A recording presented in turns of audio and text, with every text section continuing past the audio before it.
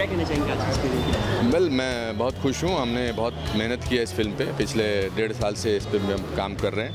आ, मैं मुबारकबाद देना चाहूँगा हमारे डायरेक्टर विजय गुट्टे को हमारे प्रोड्यूसर सुनील बेहरा को बोरा साहब को और गाड़ा साहब को जिन्होंने रिलीज़ कर रहे हैं और सर्टनली कास्ट को अक्षय को। और उम्मीद करता हूँ कि लोगों को ये फ़िल्म पसंद आएगी।